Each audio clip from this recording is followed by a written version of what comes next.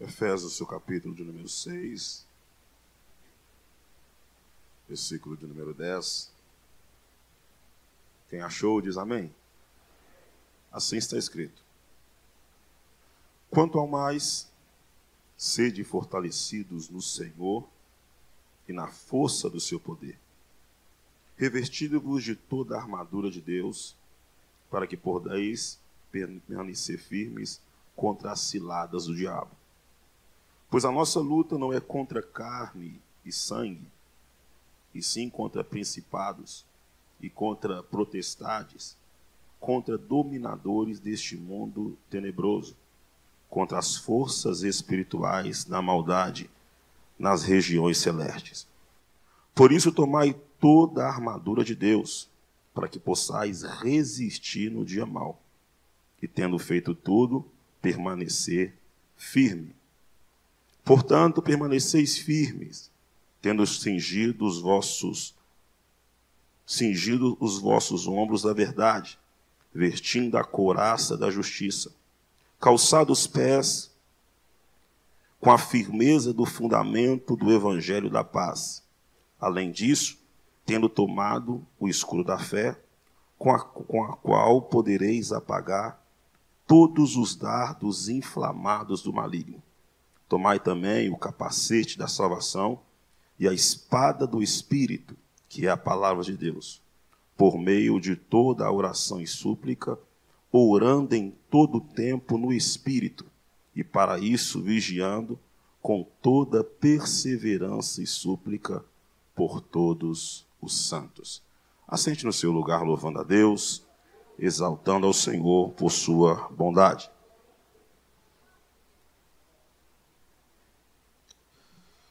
Eu gosto deste texto aqui de Efésios, capítulo de número 6, versículo de número 10, porque ele retrata uma realidade da igreja, que é uma realidade de uma batalha espiritual. Sabemos que a igreja vive em uma constante batalha contra o império das trevas. E de certa forma, e com certeza, nós não venceremos essas batalhas com armas naturais, com armas humanas, porque as nossas capacidades não são o suficiente fortes para travar uma batalha de tamanha magnitude. E aqui no capítulo de número 6, no verso de número 10, o apóstolo Paulo nos apresenta essas ferramentas que são poderosas em Deus para nos orientar com relação a vencer essa batalha espiritual. Ele deixa bem claro que a nossa luta não é contra carne ou sangue, mas a nossa luta é contra hortes espirituais do mal que atua na região celeste.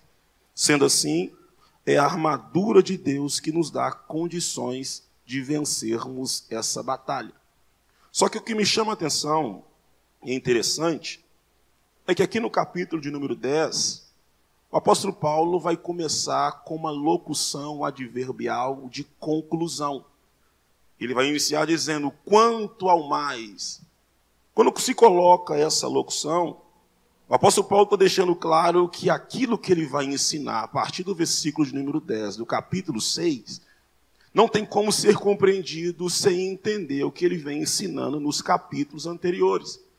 Que na verdade essa batalha, ela será uma batalha de conclusão, depois de termos observado tudo aquilo que ele vem ensinando nos capítulos posteriores. E fica bem claro que Paulo ele vem ensinando, sobretudo nessa carta conhecida como a epístola principal da eclesiologia, que nos ensina a função da igreja no mundo. Essa carta é tão poderosa que ela vai nos ensinar como o corpo místico de Cristo se apresenta no mundo. Para trazer essa palavra tão poderosa, já no capítulo 1, Paulo deixa revelado a grandeza e o propósito de Deus em Cristo. Paulo deixa bem claro que essa igreja só é fundamentada porque através de Cristo Deus uniu judeus e gentios e nos, e nos tornou um só povo. Assim como na aliança antiga, lá no Antigo Testamento, quando o Senhor fundamentou Israel, ele tinha por objetivo pregar Deus às nações. O objetivo de Deus com a nação judaica é que os povos conhecessem esse Deus poderoso. Como a humanidade se perdeu do propósito, Deus levanta a nação judaica com o objetivo de apresentar este Deus poderoso, esse Deus que resgata, este Deus que cuida, esse Deus que é um Deus todo-poderoso. Contudo, através dessa nação, o Senhor também tinha por objetivo manifestar o seu plano também aos gentios. No capítulo 1, Paulo já deixa isso bem claro, que Deus, numa, numa questão poderosíssima, ele une esses dois povos, judeu de um lado, gentil do outro lado. E Deus fundamenta um só povo, esse povo conhecido como igreja. E Paulo deixa bem claro que, a, que o propósito de Deus em Cristo é montar uma família, uma família que o sangue é vertido através do sangue de Cristo. Uma família poderosa porque a presença de Deus habita nela. Uma família tão poderosa que o que direciona ela já não são mais as leis, os princípios, os rigores da lei antiga, mas agora é a presença de Jesus, o caminho, a verdade e a vida. Aquele que é o pão para o faminto, é água para o sedento, aquele que é o caminho para o perdido, companhia para aquele que é solitário, aquele que é o Verbo de Deus encarnado. No capítulo de número 2, o apóstolo Paulo revela aquilo que para nós é a essência principal do Evangelho. Quando ele revela que todos nós estávamos mortos em nossos delitos e pecados. E Deus nos amou de uma forma tão poderosa que ele nos deu vida juntamente com ele. Já não andamos mais segundo o curso deste mundo, segundo os filhos, que, que segundo o Espírito que atua sobre os filhos da desobediência. Mas hoje nós somos vivos, vivificados pelo sangue de Cristo Jesus que habita em nós. A morte já não impera mais em nós. Aquele que era alcoólatra já não é mais alcoólatra, aquele que mentia já não mente mais, aquele que estava perdido foi encontrado pela cruz de Cristo e pelo seu sangue. Estamos reunidos aqui porque o sangue de Cristo nos vivificou, o sangue de Cristo nos alcançou. Estamos aqui hoje presente porque esse amor poderoso é o amor que nos resgata. E só quem é grato por isso glorifique ao Senhor, porque ele tem resgatado a tua vida.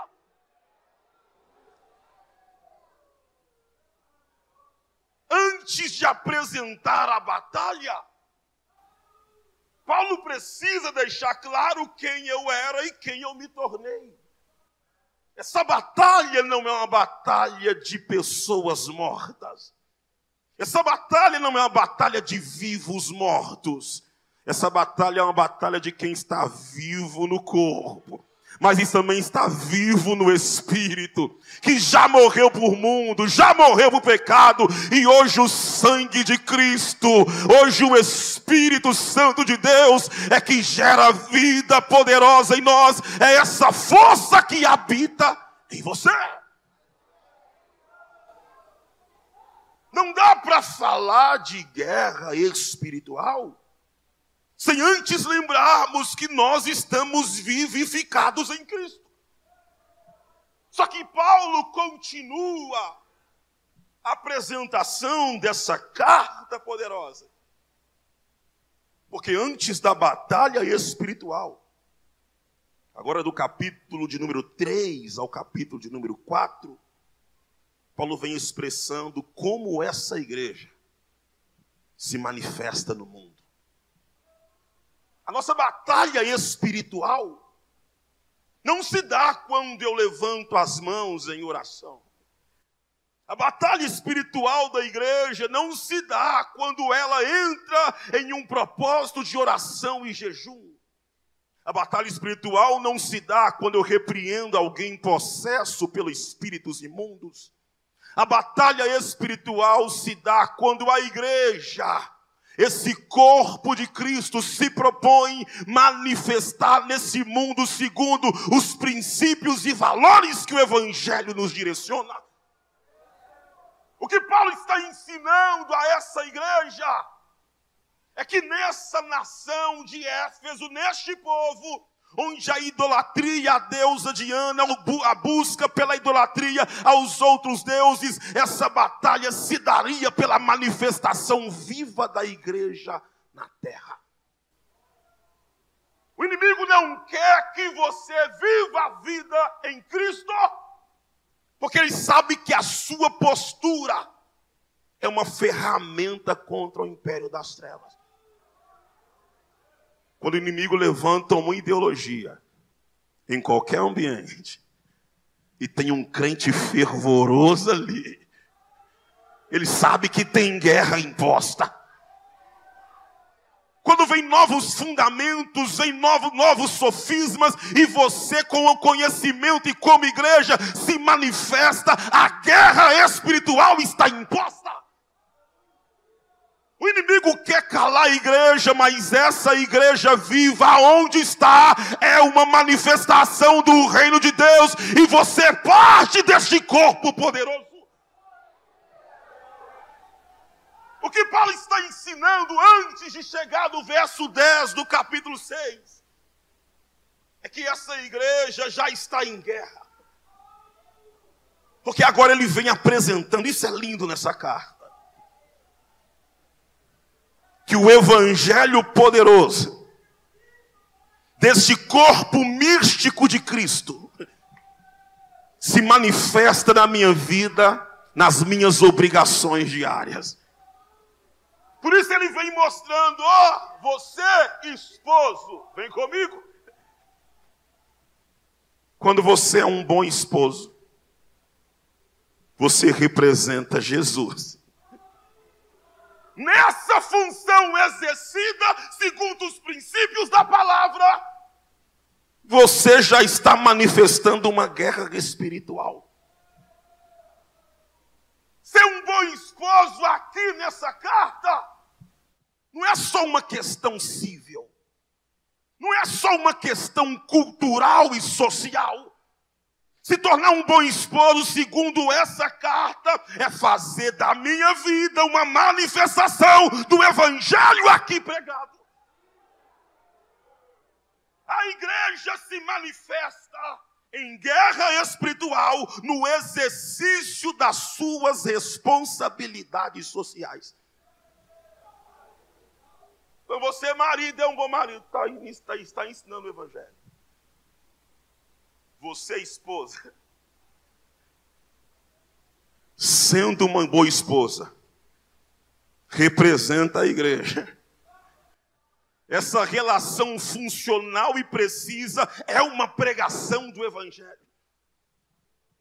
Você, filho, quando vive a função de filho, é a carta aos Efésios, Conforme os princípios que o evangelho prega, você está manifestando uma guerra, uma guerra espiritual contra as hostes espirituais da maldade. A igreja é a igreja nas suas manifestações sociais. Aí Paulo vem ampliando mais. Que ele não para. Você, patrão, Quando você é um bom patrão, no seu exercício você está manifestando a igreja. Você é funcionário. Quando você pratica um bom exercício, você está manifestando a igreja. Porque viver a igreja neste ambiente favorável é algo muito tranquilo. Mas nesse ambiente favorável alcançamos força para manifestar o evangelho lá fora. E é para isso que Deus levantou essa igreja poderosa para saquear o inferno e revelar o reino de Deus através da nossa vida. Ele vem ensinando isso e nessa manifestação.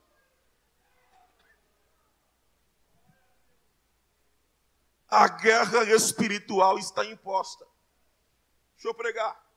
Aí Paulo começa depois que eu manifestei o propósito de Deus em Cristo, manifestei que vocês estavam mortos como gentil, mas eu vivifiquei vocês, Cristo falando, Deus falando.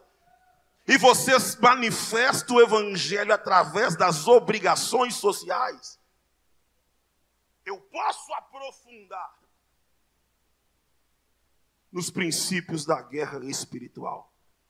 Por isso aqui ele vai dizer: quanto ao mais. Não dá para guerrear com essas ferramentas sem praticar o que está escrito posteriormente. Mas praticando posteriormente, aí Paulo vem. Quanto ao mais, sede fortalecidos. Observe que esse sede fortalecido é um agente ativo. O processo de fortalecimento da igreja não se dá na passividade. Deus não usa crente parado, crente sem movimento. Deus usa crente em movimento que está direcionando-se para onde ele se revela. Deus te traz aqui hoje para te sacudir. Deus te traz hoje aqui para te movimentar. Eu estou no lugar certo, é você que se direciona para onde eu me revelo, é você que vem buscar essa força, e essa força está disponível a você. E só quem quer, levante a mão, adore e glorifica, fortaleça-te.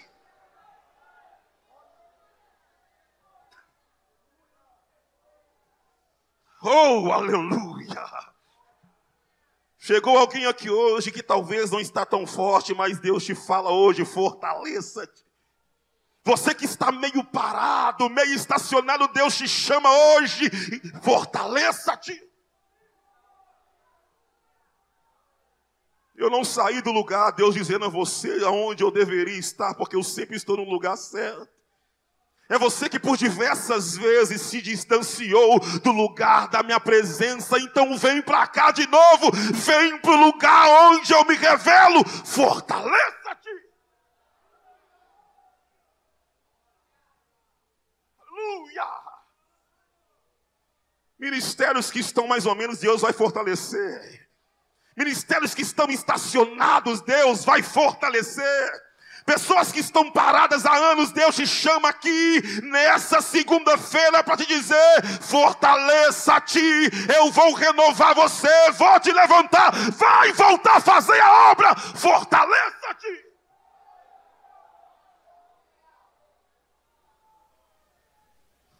Alabante, calamandacácia. Fortaleça-te.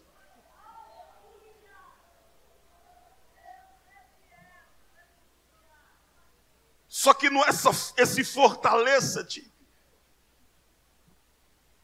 Talvez pode trazer uma conotação de altivez humana. Eu fortalecendo a mim mesmo. Olha aqui. Essa força aqui, diploma não produz. Essa força aqui, conhecimento humano não produz. Essa força aqui, experiência física não produz.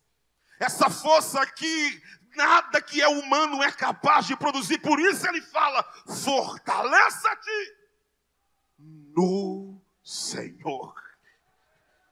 A força que vai mobilizar vocês, obreiro, vem de Deus.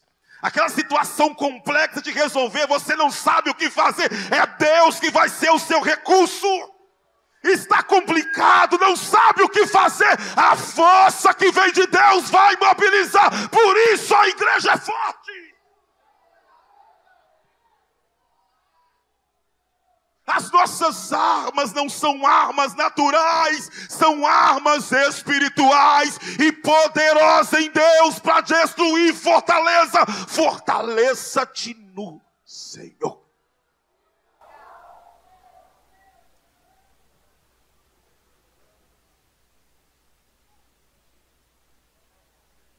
Por que, que é bom fortalecer no Senhor? Olha aqui para mim.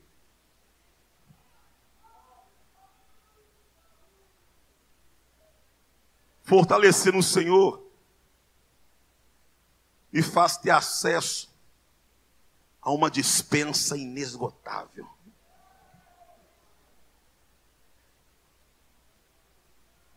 Se você precisar, a dispensa tem. Eu não sei qual é o seu limite, vida natural, vida física, ministério. Mas uma certeza eu tenho pelo Deus que eu prego em nome dele aqui hoje. A dispensa dele tem o que você precisa. E ela não é aberta por mérito humano, é graça. A graça poderosa dele te dá acesso a essa dispensa inesgotável.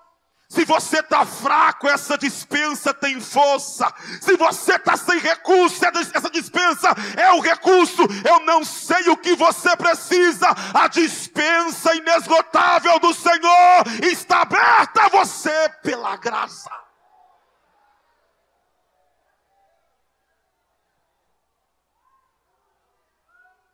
Por isso o crente é tão familiarizado com o impossível.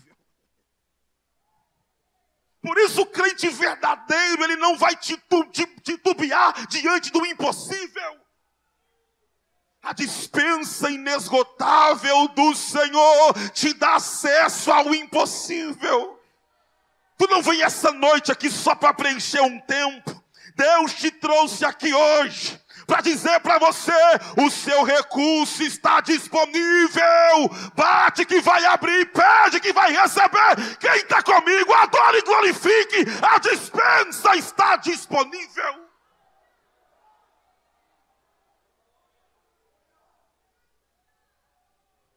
Oh, aleluia, que presença gloriosa. Essa presença, a dispensa dele aberta trazendo poder, renovo. Tem batismo aqui hoje, tem renovo, tem glória. A dispensa inesgotável está aberta.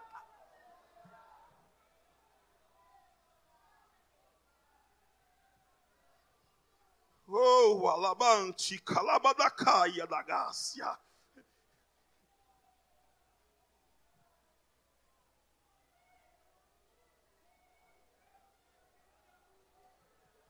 Olha aí. Ó Deus respondendo corações contritos aqui hoje. Ó Deus derramando poder em ministérios parados aqui hoje. Ó Deus reativando o ministério de forma poderosa aqui hoje. Tu veio aqui buscar e a dispensa está aberta. Venha para cá, receba o que o Senhor tem para ti.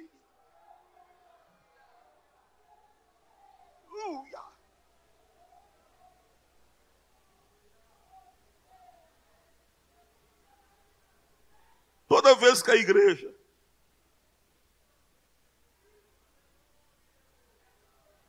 chega num limite, a dispensa inesgotável de Deus se abre de uma forma abundante.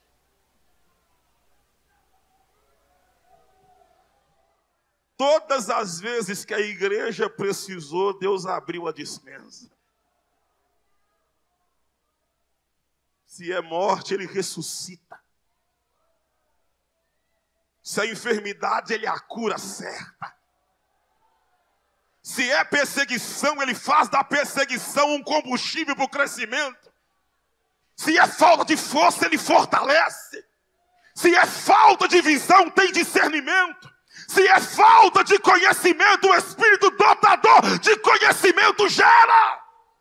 Eu não sei o que você está precisando, mas esse Espírito está fluindo aqui essa noite e ele vai tocar em ti, vai fortalecer você. Aleluia!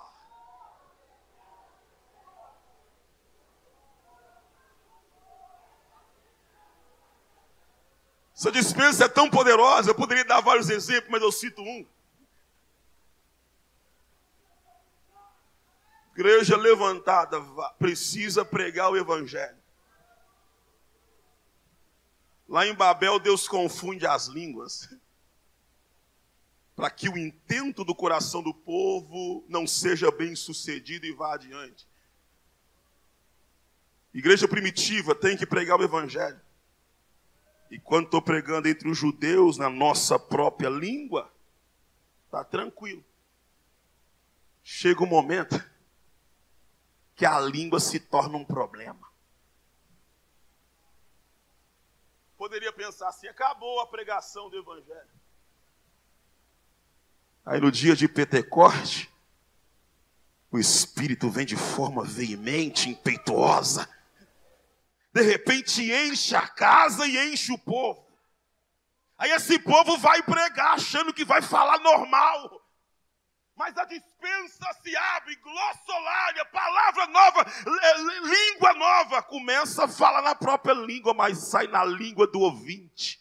É a dispensa de Deus quebrando bloqueios, eu não sei qual é o bloqueio que está te impedindo na congregação. A dispensa vai abrir. Eu não sei o bloqueio para você ganhar o vizinho. A dispensa vai abrir. Não me importa o bloqueio. A dispensa tem o recurso. Quem está comigo, adore e glorifique ao nome deste Deus aqui.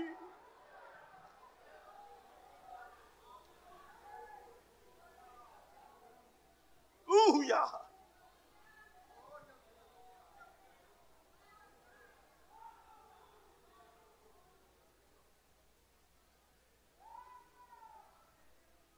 Sede fortalecido no Senhor. Só que Paulo continua. Ele fala: eu ativamente sendo fortalecido. Segundo ele cita a fonte da onde vem a força. E agora ele vai revelar a qualidade dessa força. É muito profundo, Paulo, né? Sede fortalecido, eu vou. No Senhor.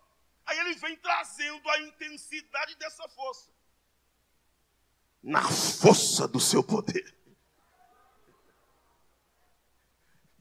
Esse poder é grandioso. E a qualidade deste poder é que ele não impera de fora para dentro. Porque se ele impera de fora para dentro, eu analiso pela minha visão natural. Por isso que análise numa ótica natural é contra a fé. Por isso você não pode levar o seu ministério pela sua análise e critério de um olhar humano. Porque a força do poder de Deus impera de dentro para fora. De fora para dentro. Análise natural. Qual que é a análise natural? Estatística. Ninguém que tentou conseguiu. Todo mundo perdeu quando chegou aqui. Todo mundo que chegou aqui não foi bem sucedido. Todas as vezes que aconteceu aqui, parou. Visão natural. Estatística. Calculadora. Regrinha de três. Treina. Metro. Tudo que o homem pode usar de recurso para tentar limitar o que pode ou não pode acontecer. Política. Economia tudo isso são as limitantes naturais que eu analiso sobre a minha ótica. Isso é força de fora para dentro.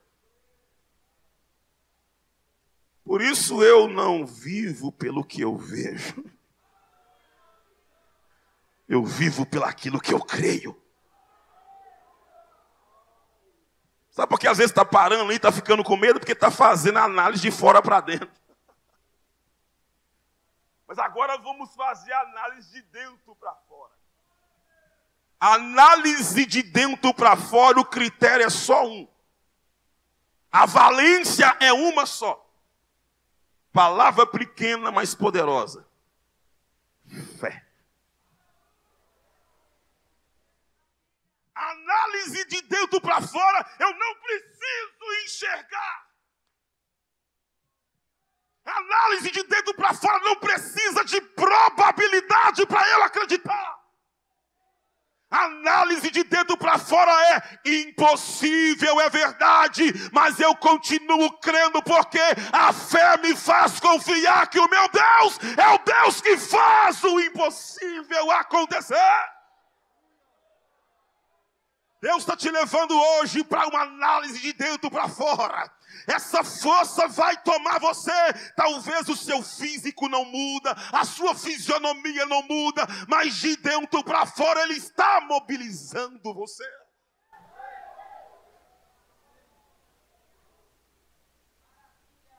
Pedro e João no templo Formosa. De repente, Está lá um mendigo. Me dá ouro e prata. Análise de fora para dentro. Ouro e prata eu não tenho. Bolso vazio. Conta zerada. Mas eu vou te dar o que eu tenho de dentro para fora de dentro para fora é o poder do Espírito Santo agindo em mim. Moeda eu não tenho para dar, mas levanta e anda em nome de Jesus. É essa força que Deus vai te dar hoje, autoridade, poder de Deus, revestimento de poder, de dentro para fora tem cura, tem milagre, a tua palavra é poderosa em Deus.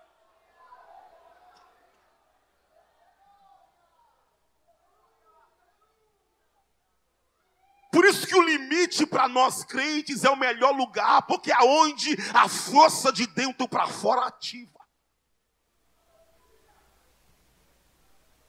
Chegar no nosso limite é desconfortável. Mas chegar no nosso limite é o primeiro passo para o poder de Deus se ativar em nós. Fortaleça-te no Senhor e na força do teu poder. O que, que esse poder produz em nós? Produz qualidades para a guerra. Primeiro, discernimento. Se não tiver discernimento, guerra espiritual perdida. Se eu não entender contra quem eu estou lutando, naturalmente eu vou perder a batalha. Certa vez Paulo chegou naquela cidade para anunciar o evangelho. E quando o inimigo não conseguiu ganhar de Paulo no pecado, no medo, ele usa um artifício perigoso e toma cuidado com isso. O artifício do orgulho. Paulo vai para lá.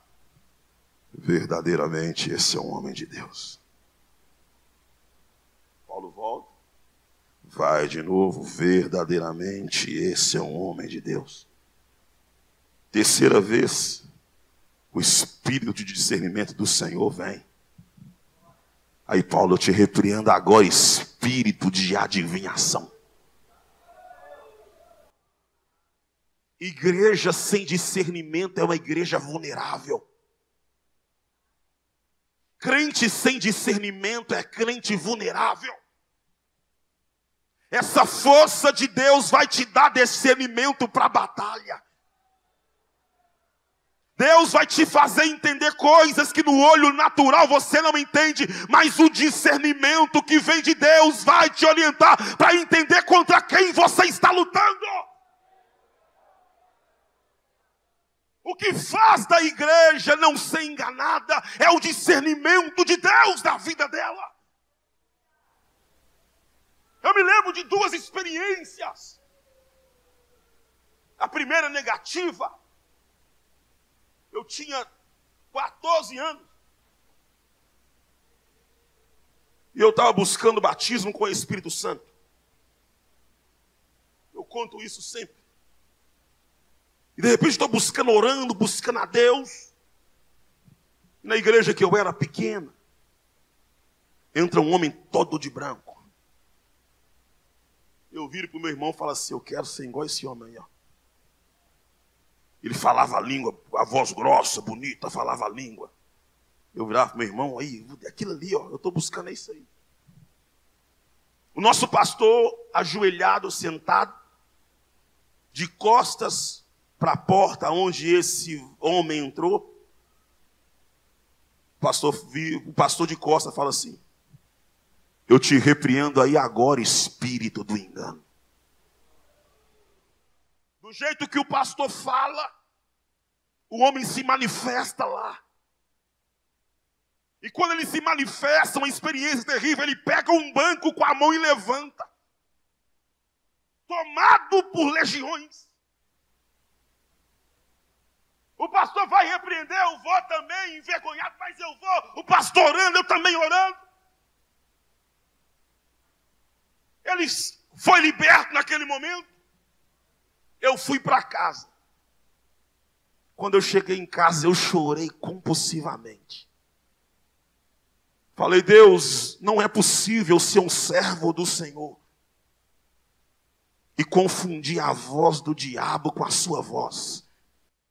Deus, eu preciso conseguir entender e não confundir a sua voz. Não há tristeza maior para um servo de Deus do que confundir a voz do seu Senhor. Deus vai te dar discernimento.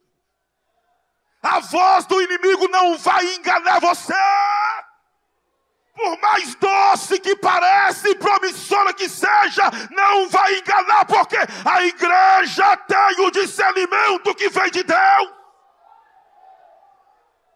Você vai entender contra quem você está lutando, porque o espírito de discernimento vai tomar essa igreja, os obreiros, a membresia, esse espírito de Deus vai tomar você.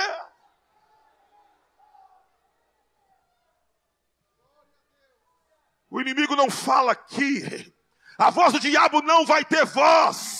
O engano não vai ter voz, sedução não tem voz, porque a voz que nós ouvimos é a voz de Jesus e a voz de Deus. Ele quem te fala.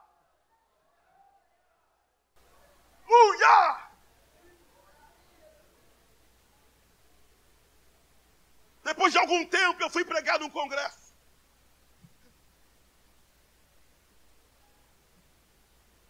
Chegando lá foi o pior culto, se eu posso dizer isso, que eu participei. Igreja abençoada. Pensa num culto pesado. O irmão vai subir no altar e escorrega com um copo de água que ia trazer para mim. A irmã vai cantar, escorrega na água que tinha caído. A menininha vai subir com a mãe e bate a cabeça. O som desliga e liga toda hora.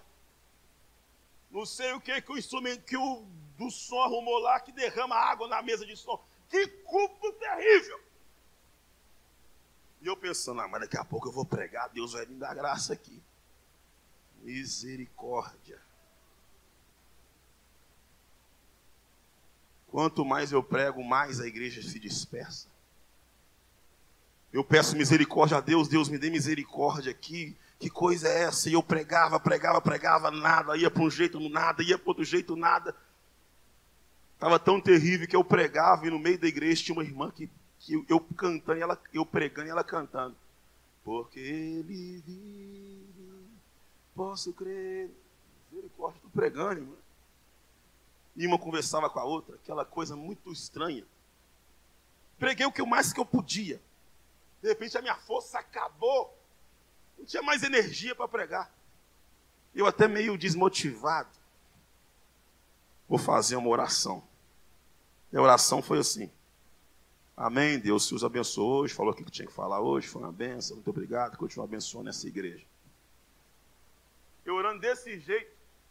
Os jovens são tomados por um poder sem contexto. Eu não entendi, mas que poder é esse? Não estou entendendo nada. Os irmãos ele continuam conversando, os jovens começam a pegar no poder. Eu estou aqui, pasmo. Uma oração dessa, um poder desse. Meu Deus, não tem sentido uma coisa dessa. Mas eu olhava para os jovens, entenda isso. Me dava vontade de orar mais, jejuar, buscar a presença de Deus. Porque poder de Deus não me dá nem vontade de pular também, me dá vontade de aproximar de Deus com santidade. Só que no meio daquela juventude, tinha um jovem, ele era velho, porque é aquele jovem que nunca casa, ele continuou ali. Você sabe que todo lugar tem um desses. E ele está no meio dos jovens, mas ele é um pouco mais velho. Ele se levanta e começa a movimentar-se também, mas eu olho para ele, não tenho outra palavra para descrever. Eu sinto raiva. Meu Deus, agora esse cão pegou em mim. Eu olho para os jovens no poder, me dá alegria. Eu olho para aquele irmão, ele me irrita. De repente, aquele irmão vem dançando uma dança estranha e feia, por meio da igreja fora, dançando. Sobe no altar pega o microfone e começa a profetizar. Eu já tinha colocado o microfone, eu olhei para o pastor da igreja, o pastor está assim. A irmã continua cantando no unha. Os jovens continuam no poder. E eu aqui irritado com esse irmão aqui. E o pastor lá assim. De repente eu fechei os olhos, Deus sei o que está acontecendo, ele profetizando. De repente eu não aguentei, meu irmão. Foi, foi crescendo, eu gritei, eu gritei, eu esbravejei. Cala a boca agora! Cala a sua boca! Quando eu falo assim com ele, eu falei assim. Ele joga o microfone, ajoelha na minha frente e fala assim: ora para mim agora. Sou eu que estou aqui, falou o nome dele. E desceu chorando, em plank, chorando. Metade da igreja vem chorando. Outra metade da igreja, junto com o pastor, que levanta a mão e começa a gritar: Deus é fiel. Deus ainda responde. Deus é fiel. Deus é fiel. Deus é fiel. Eu não entendendo nada. Final do culto, foi lá me levar para lanchar. Eu falei, pastor, ele, você não entendeu nada? Não, eu falei, não entendi. Ele, esse irmão aí, começou a ter uns, uns comportamentos estranhos aqui na igreja. Eu fui aconselhar, ele dividiu a igreja e quase me arrancaram daqui. Só que como estava chegando a festa, fizemos 30 dias de oração. Para Deus responder e resolver esse problema no dia da festa. Só que teve a festa. Sexta-feira, nada. A igreja não é sábado que Deus vai falar. Sábado, nada. Não, é domingo Deus vai falar. Manhã do avivamento, nada. A igreja chega à noite tensa, por isso aquele culto está naquele movimento. Mas quando Deus desmascara a voz do inimigo aqui, a metade que vem chorando é a metade que estava junto com esse irmão do problema.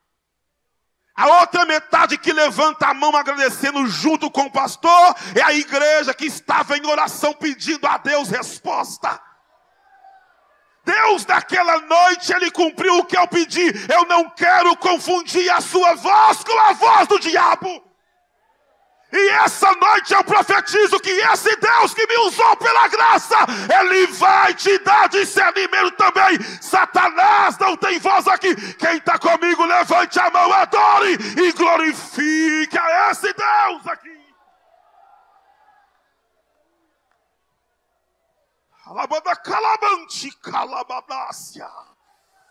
Ele vai dar discernimento para a juventude, para os obreiros, para o ciclo de oração, para a liderança completa. Esse Espírito vai liberar discernimento.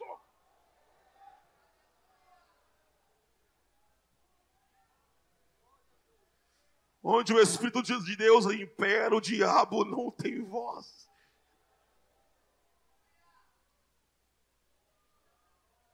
Oh, bidiquile, bidicalabadagácia.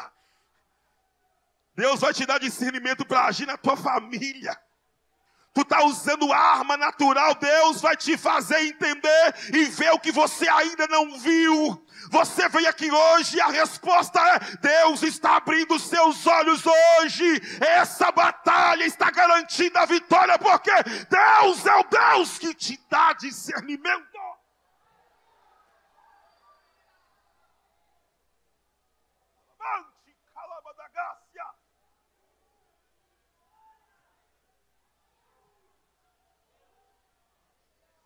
Oh, aleluia!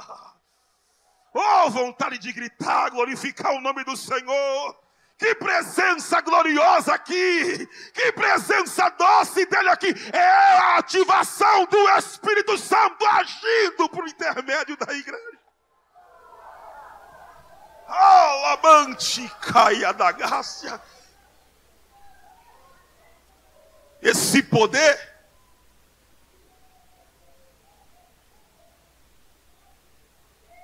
produz discernimento.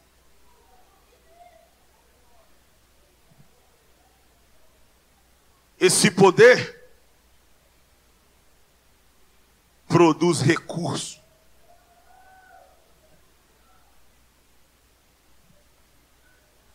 E esse recurso é incalculável. E hora que você está pensando assim, ah, não sei o que falar. Calma. Deus vai te dar o recurso. Tem hora que vai parecer que é um pensamento seu, mas é Deus te dando o recurso.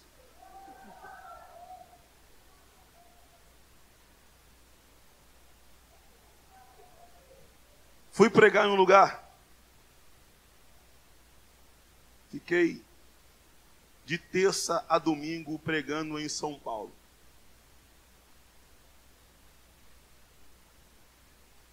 Logística ruim, ou provisão de Deus, cismei de pregar no domingo de manhã para vir depois.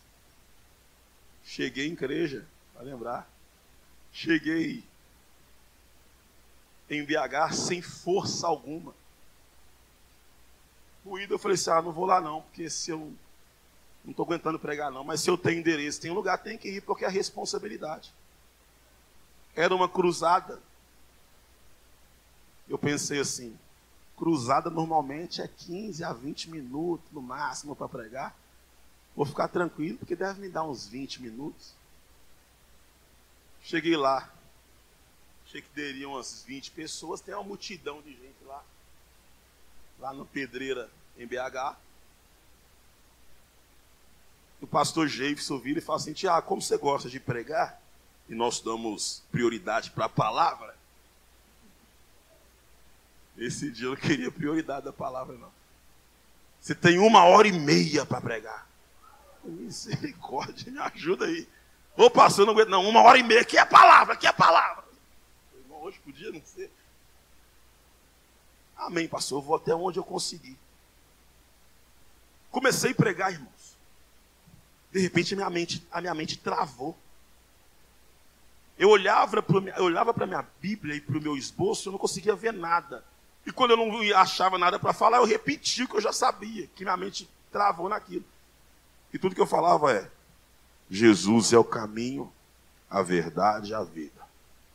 É o único acesso que nos leva a Deus. Jesus é o caminho porque é o acesso, é a verdade porque é a revelação, é a vida porque me tirou do império das trevas e transportou para o seu reino. Bonito, né? 20 minutos falando só isso. 25 minutos só isso. Todo mundo está ansioso. Vai pregar, não vai ficar repetindo aí. De repente, uma força me toma. Uma força poderosa. Eu fico. Meu corpo fica normal, vigoroso. Eu falei, agora eu prego, agora eu prego. Estava em cima de um, de, um, de um, caminhão. Agora eu prego. Agora eu prego. Quando eu comecei a falar agora eu prego, um portão verde meio amarelado me chama a atenção. Portão, me ajuda aí, portão. Eu olho para o portão. Aí Deus fala comigo: fala o que eu te mandar. Lança o desafio. Aí vem na minha cabeça: o macumbeiro Tu entregou vela de sete dias, galinha preta e farofa com cachaça na encruzilhada. Para tentar profetizar que essa vila é sua. Mas o meu Deus me trouxe aqui, macumbeiro, para dizer para você assim, ó, essa vila é dele e ele não abre mão. E tem outra, macumbeiro. O meu Deus não luta. O meu Deus vence porque de eternidade em eternidade ele nunca entrou em uma batalha com a possibilidade de perder.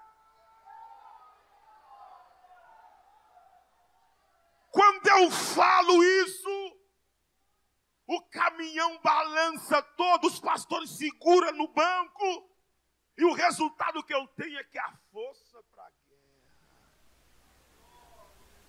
foi embora. Falei, Deus, agora que eu precisava dar força para guerrear, o que, que eu vou fazer aqui? Vou pregar. Aí eu comecei a pregar. Jesus é o caminho, a verdade e a vida. É o único acesso que nos leva a Deus. Jesus é o caminho, porque é o acesso, é a verdade, porque é a revelação, é a vida, porque me tirou do império das trevas e transportou para o teu reino mais uns 15 minutos assim. Eu estava cansado. De repente, do lugar que eu apontei um dedo, saiu um senhor de uns 50 e poucos anos. A característica física dele é que ele era calvo e tampava a calvície com o lado do cabelo. Esse era ele. Ele aparece ali, chama o presbítero e eu estou aqui repetindo. E o presbítero me conta o que ele falou. Ele falou assim: na minha vida toda, duas pessoas pregaram para mim. A primeira eu pus para correr. A segunda é esse pregador aí que só fala a mesma coisa com essa voz grave e melancólica. Mas eu entrei para casa, tranquei o portão, entrei para a sala, tranquei a porta, entrei para o quarto, tranquei a porta, liguei o som e coloquei um travesseiro no ouvido para não ouvir. Mas essa palavra está moendo meu coração. Aquele homem caiu de joelho, levantou as duas mãos e gritava em praça pública: Eu quero aceitar esse Jesus que é o caminho, a verdade e a vida, e é o único acesso que nos leva a Deus. A mente do pregador pode falhar, o cognitivo pode não trazer mensagem, mas aonde há poder de Deus, a palavra dele é poderosa para trazer recurso. O que eu estou dizendo a você é que, sempre que você tiver essa força, ainda que te falte palavra, Deus tem a resposta e a palavra para os seus lábios.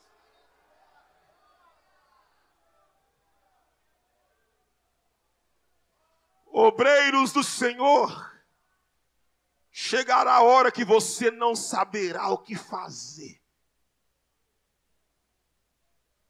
Chegará a hora que te faltará palavras. Chegará a hora que te faltará recurso e companhia. Mas eu te falo em nome de Jesus: não te faltará recurso de Deus. Quando você estiver lá sozinho, os obreiros do Senhor, estará difícil. Eu te afirmo em nome de Jesus, a presença de Deus será a resposta e o recurso que vocês precisam, Ele nos dá recurso para a batalha.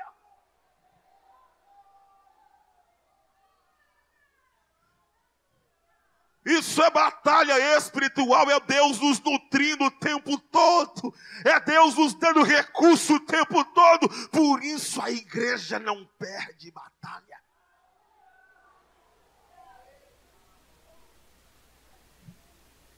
O final dessa história foi essa aqui, eu fui continuar pregando que o tempo vai acabar ali.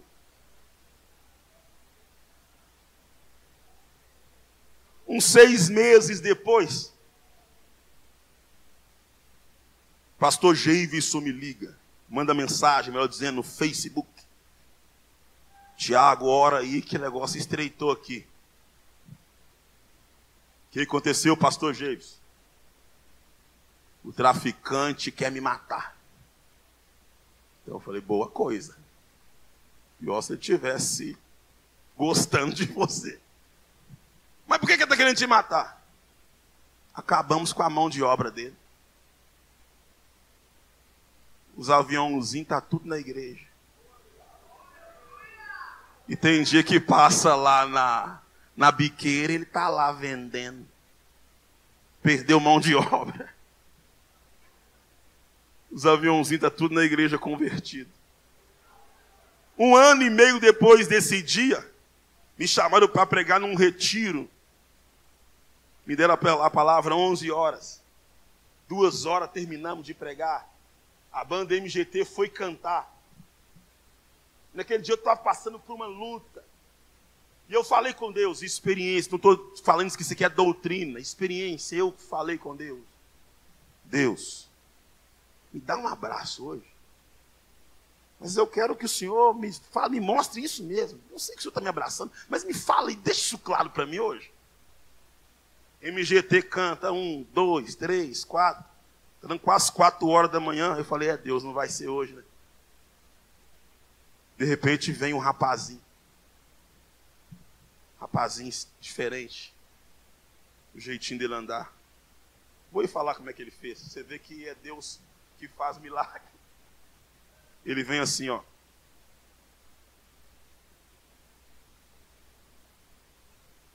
Aí, vou te dar uma fita aí. Que fita? Te dar uma fita aí que eu senti aqui. Eu não sei como é que fala, mas vou te falar que Deus me falou. Fala aí. Deus mandou vir aqui te abraçar e é isso aí. Ele fala assim, me abraçou, eu chorei ali, chorei. Quando chegou lá no, no, na casa, eu vou parar de pregar, dar, devolver a palavra. Falei com o pastor Javes, o pastor Javes saiu dando soco no ar, falando assim: Glória a Deus, glória a Deus. Falei: O que, que, é isso, pastor Javes? O que está acontecendo? Ele falou assim: Tiago, isso aí era o acertador de conta lá da, da boca lá. Deus já está pegando acertador de conta e está salvando. O dia que eu fui nessa igreja, a primeira vez, tinha 11 jovens misturados com adolescente. A última vez que eu fui, tive que pregar em dois, dois horários no domingo, porque a igreja não comportava o número de pessoas. Sabe por quê?